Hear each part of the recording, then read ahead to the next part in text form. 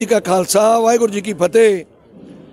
ਅੱਜ ਮੋਰਚਾ ਫਤਿਹ ਹੋਣ ਤੋਂ ਬਾਅਦ ਗੁਰੂ ਮਹਾਰਾਜ ਦਾ ਸ਼ੁਕਰਾਨਾ ਕਰਨ ਵਾਸਤੇ ਗੁਰੂ ਘਰ ਗੁਰਦੁਆਰਾ ਸਾਹਿਬ, ਬੰਗਲਾ ਸਾਹਿਬ ਸਾਰੇ ਸਾਥੀ ਐਸਕੇਐਮ ਦੇ ਇੱਥੇ ਆਏ ਸਨ ਔਰ ਮਹਾਰਾਜ ਦਾ ਸ਼ੁਕਰਾਨਾ ਕੀਤਾ ਅਰਦਾਸ ਕੀਤੀ ਹੈ ਕਿ ਇਸੇ ਤਰ੍ਹਾਂ ਮੇਰਾ ਭਰਿਆ ਹੱਥ ਸਾਰਿਆਂ ਤੇ ਬਣਾਈ ਰੱਖਣ।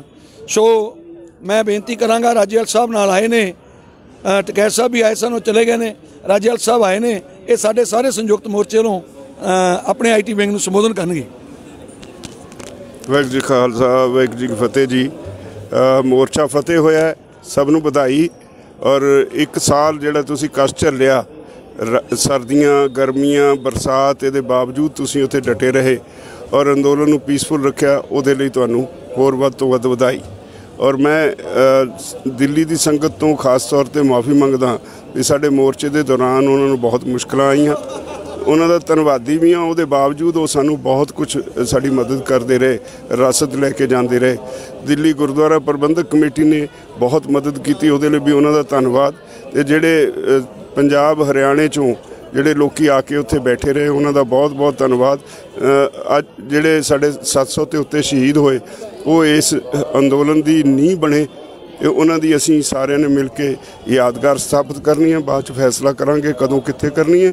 ਮੈਂ ਅਪੀਲ ਕਰਾਂ, ਧੰਨਵਾਦੀਆਂ ਜਿਹੜੇ ਬਾਰਡਰ ਦੇ ਨਾਲ ਲੱਗਦੇ ਪਿੰਡ ਨੇ ਹਰਿਆਣੇ ਦੇ, ਜਿਨ੍ਹਾਂ ਨੇ ਸਾ- ਬਹੁਤ ਕਸ਼ਟ ਚੱਲੇ ਉਹਦੇ ਬਾਵਜੂਦ ਸਾਨੂੰ ਸਾਥ ਪੂਰਾ ਦਿੱਤਾ। ਉਹਨਾਂ ਕੋਲੋਂ ਮੁਆਫੀ ਪਹਿਲਾਂ ਤਾਂ ਜਿਹੜੇ ਕਸ਼ਟ ਚੱਲੇ ਤੇ ਜਿਹੜਾ ਉਹਨਾਂ ਨੇ ਸਾਥ ਦਿੱਤਾ, ਉਹਦੇ ਲਈ ਬਹੁਤ ਬਹੁਤ ਧੰਨਵਾਦ। ਮੇਰੇ ਕੋਲ ਸ਼ਬਦ ਨਹੀਂ। ਸਾਰੀ ਦੁਨੀਆ 'ਚ ਬੈਠੇ ਸਿੱਖ ਜਿਹੜੇ ਨੇ, ਐਨ ਆਰ ਆਈਜ਼ ਨੇ, ਉਹਨਾਂ ਨੇ ਜਿੰਨੀ ਸਾਡੇ, ਸਾਡੀ ਮਦਦ ਕੀਤੀ, ਉਹਦੀ, ਉਹਦਾ ਧੰਨਵਾਦ ਕਰਨ ਲਈ ਮੇਰੇ ਕੋਲ ਸ਼ਬਦ ਨਹੀਂ। ਸਾਰੇ ਦੇਸ਼ ਵਿੱਚ ਇੱਕ ਨਵਾਂ ਸੁਨੇਹਾ ਗਿਆ ਵੀ ਸਰਕਾਰਾਂ ਵੱਡੀਆਂ ਨਹੀਂ ਹੁੰਦੀਆਂ, ਲੋਕ ਵੱਡੇ ਹੁੰਦੇ ਨੇ। ਇਹ ਜਿਸ ਢੰਗ ਨਾਲ ਤੁਸੀਂ ਇਹ ਮੋਰਚਾ ਚਲਾਇਆ, ਕੋਈ ਪੋਲੀਟੀਕਲ ਬੈਕ ਤੁਹਾਡੇ ਬੈਕਿੰਗ ਹੈ ਨਹੀਂ ਸੀ। ਉਹਦੇ ਬਾਵਜੂਦ ਲੋਕੀ ਜਿੱਤੇ ਨੇ।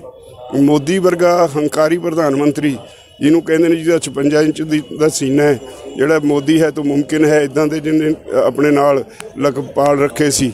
ਤੇ ਉਹਨੂੰ ਝੁਕਣਾ ਹੀ ਨਹੀਂ ਪਿਆ, ਟੁੱਟਣਾ ਪਿਆ। ਉਹ ਮੈਂ ਸਮਝਦਾ ਬਹੁਤ ਵੱਡੀ ਇਹ ਜਿੱਤ ਹੈ। ਅੱਗੋਂ ਲਈ, ਹਲੇ ਐਮਐਸਪੀ ਬਹੁਤ ਵੱਡਾ ਮੁੱਦਾ ਹੈ। ਉਹਦੇ ਤੇ ਲੜਾਈ ਜਾਰੀ ਹੈ। ਸਰਕਾਰ ਕਮੇਟੀ ਬਣਾਏਗੀ। 15 ਜਨਵਰੀ ਨੂੰ ਮੀਟਿੰਗ ਕਰਾਂਗੇ। ਦੇਖਾਂਗੇ ਉਹ ਕਿਸ ਤਰ੍ਹਾਂ ਦੀ ਕਮੇਟੀ ਬਣਾਉਂਦੀ ਹੈ।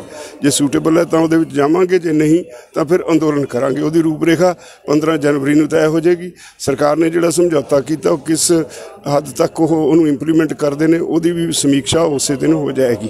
ਤਾਂ ਮੈਂ ਸਾਰੇ ਪੰਜਾਬੀਆਂ ਦਾ ਖਾਸ ਤੌਰ ਤੇ ਜਿਹੜੇ ਇਹਦਾ ਧੁਰਾ ਸੀ, ਉਹਨਾਂ ਦਾ ਤੇ ਹਰਿਆਣੇ ਵਾਲੇ ਵਾਲੇ ਕਿਸਾਨਾਂ ਦਾ, ਜਿਨ੍ਹਾਂ ਨੇ ਬਹੁਤ ਸਖਤੀ ਨਾਲ ਪਹਿਰਾ ਦਿੱਤਾ ਔਰ ਖੱਟਰ ਸਰਕਾਰ ਨੂੰ ਧਰਤੀ ਤੇ ਪੈਰ ਨਹੀਂ ਰੱਖਣ ਦਿੱਤੇ।